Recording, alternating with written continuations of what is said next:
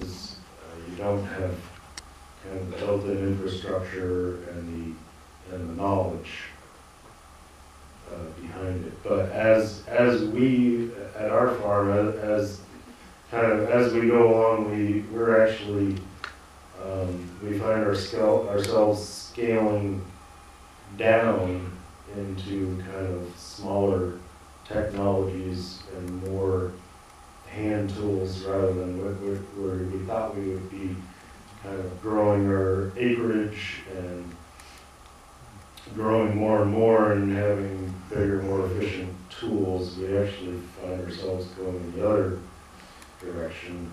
Um, But part of that's because, uh, we- we're really lucky to have a, a good community around us that is willing to pay good, good money for good food.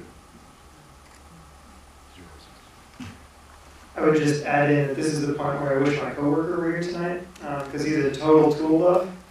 Um, And I know appropriate technology is in the name of our organization, and, and the truth is that um, a lot of the hand tools that do exist that make work easier um, are not necessarily being sold in this country. So when you go to Home Depot and you buy a garden hoe, uh, it's the exact same hoe that you would use to mix cement with. It's the same hoe in two different aisles.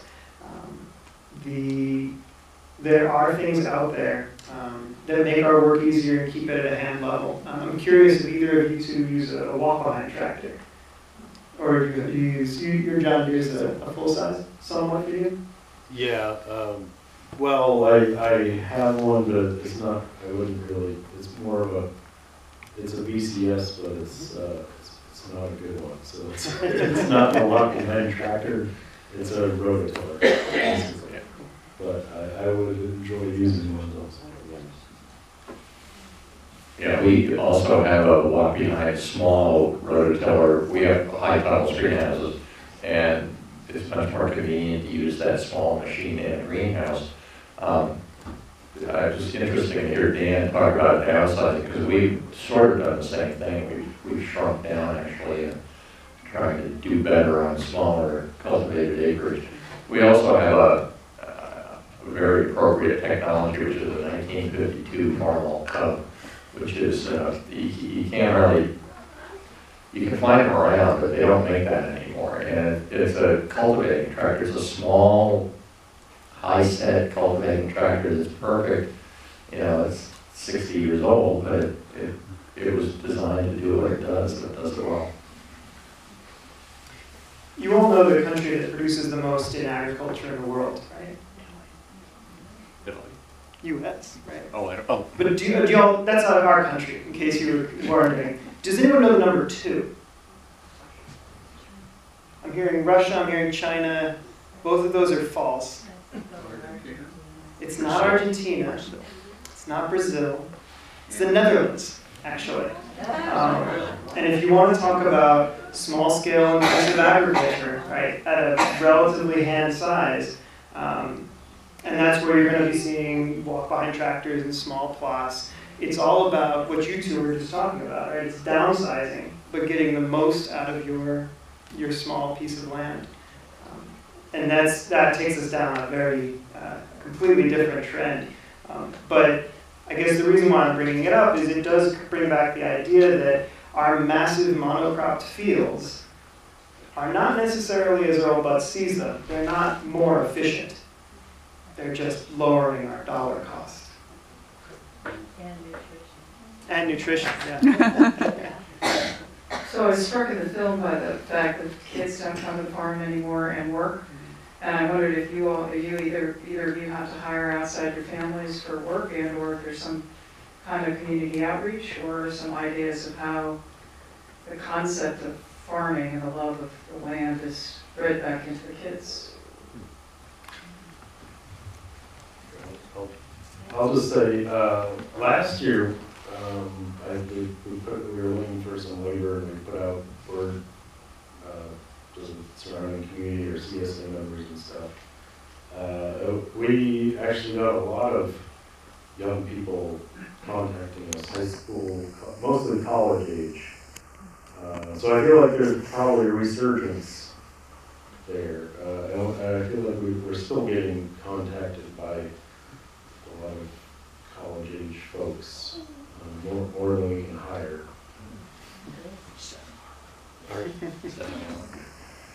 Um, Yeah, I was very, very fortunate about 14 months ago to sitting by the stove one January day and a gentleman called me and said he was at the farm and he was looking for work and he's just the ideal farm manager for me now. He's a young guy who's uh, from Quebec, who has tremendous experience, uh, tremendous intelligence when it comes to farming and putting uh, to practice. And so, uh, so we, we're, we've been very fortunate. We hire, we hire, we probably have, at the height of the season, seven or eight employees during the summer. Um, over the winter, we've had like one and a half.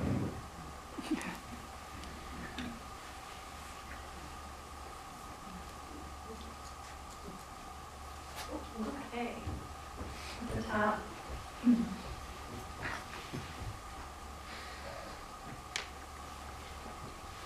Hi, my name is David. Um, My question for you is, if I were to talk to my state legislator or my select person, what are the two or three things you would want me to say to that person?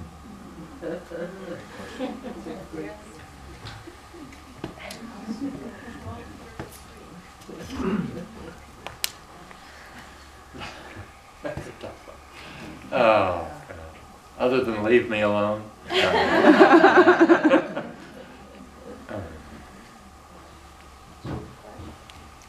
Go for it. Uh,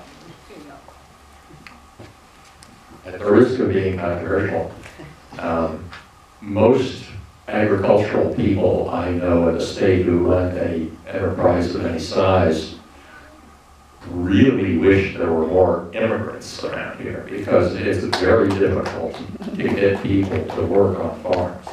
It's not an accident that my new farm manager is from Quebec. Um, There's a a totally different attitude towards work and, and responsibility and, and uh, I can't find those people around here. We, we used to do about six acres in Concord over at St. Paul's School. Um, and it was, pretty much done by uh, a gentleman and his family who were refugees from Nepal. And regrettably, they moved to Ohio.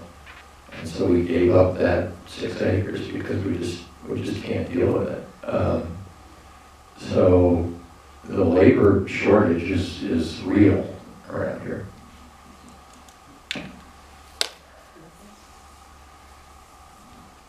Um, I, I think probably the biggest, I don't know, I don't know how much difference legislatures can make in farming in New Hampshire.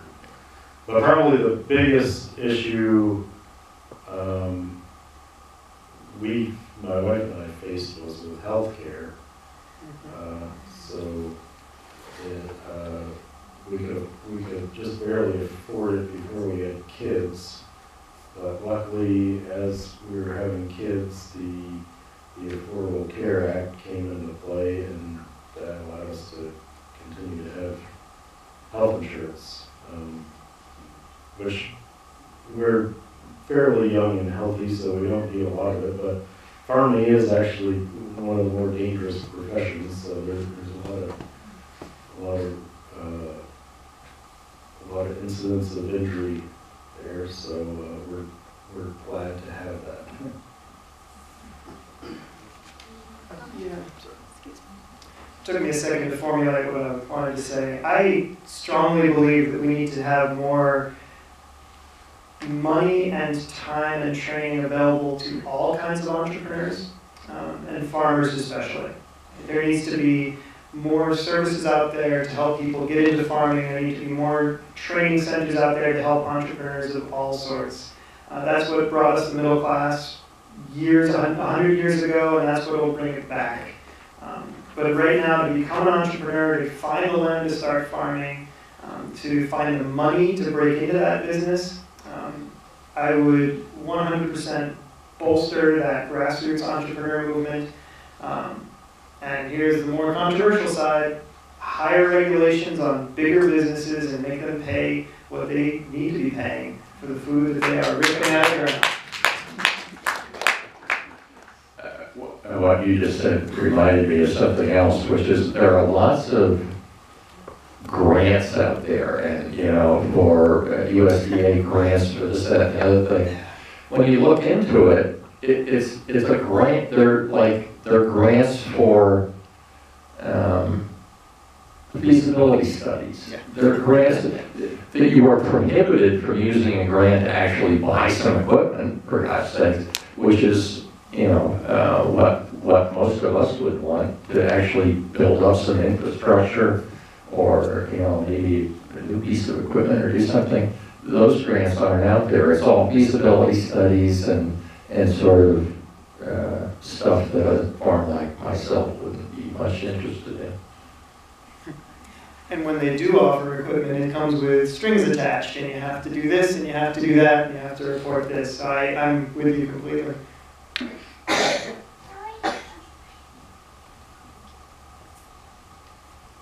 Um, I just wanted to add to that also, um, that there's a bill called HB 1233. You can learn more about this on NOFA New Hampshire's website. Um, It's to regulate seeds and fertilizers, and it will potentially take regulation away from municipalities and bring it to the state level. So if you would like to learn more about this, you can ask me about it after. Uh, Are there any questions, additional questions?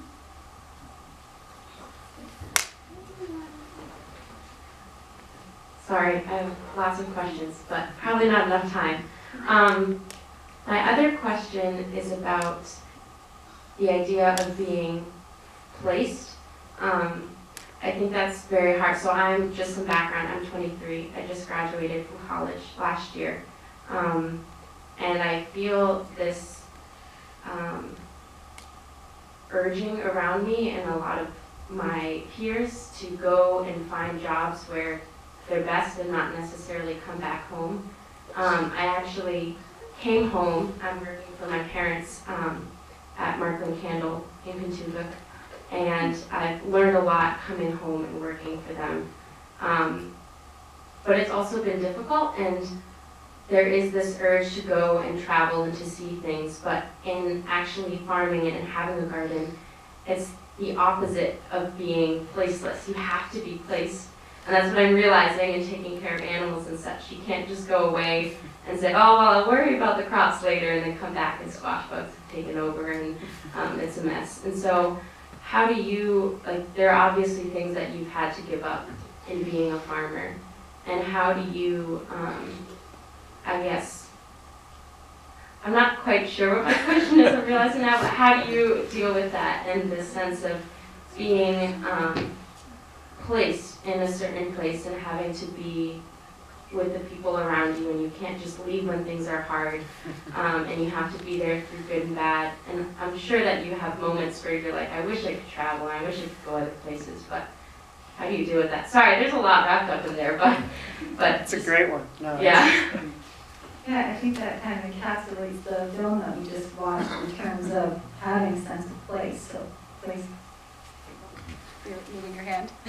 Yeah, I, I had, farming was not my first career, so I mean, I had, um, I worked for the state, I was a lawyer, I did various things.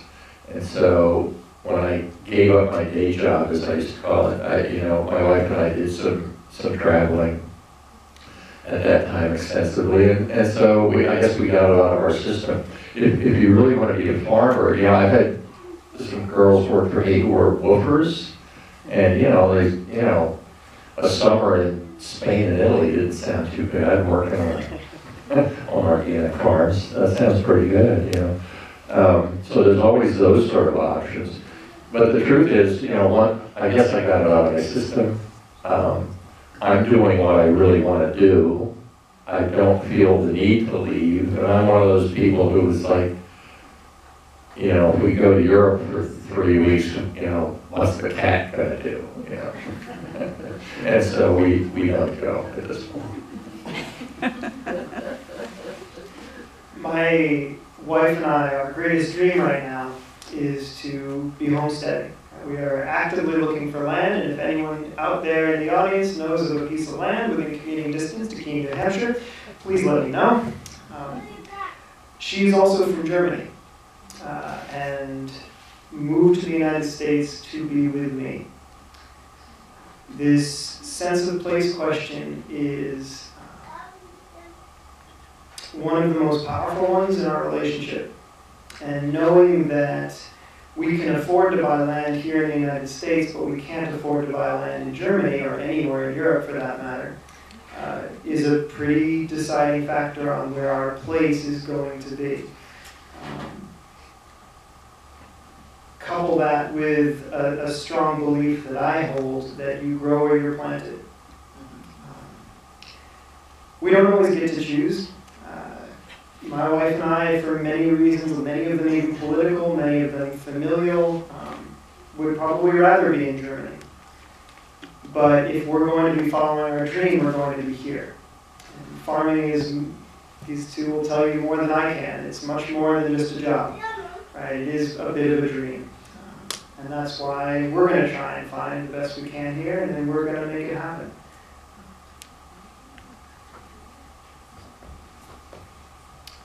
Uh, yeah, I don't think there's a right answer there. Uh, I, I would love to do more traveling, but, um, that, that, that looks like it's, it's a ways off, you know, especially when we have some young kids, so. Um, so they'll tie you down too.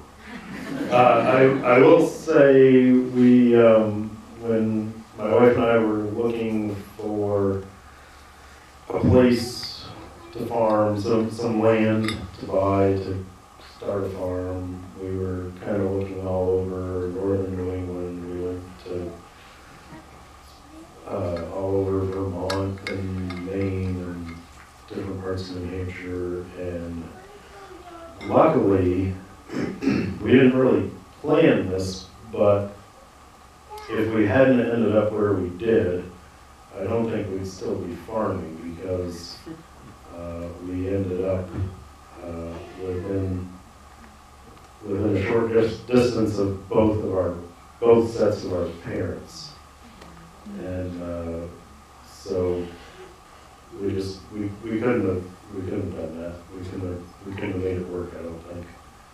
Um, we also were, we're very fortunate to have a really supportive community in our in the town we're in. Um, but yeah, it, it helps to have uh, family or I guess at least good friends nearby.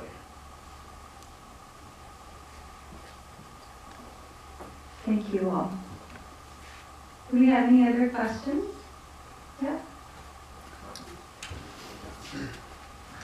This is my husband. Thank you. Uh, thank you. Yeah, so this is a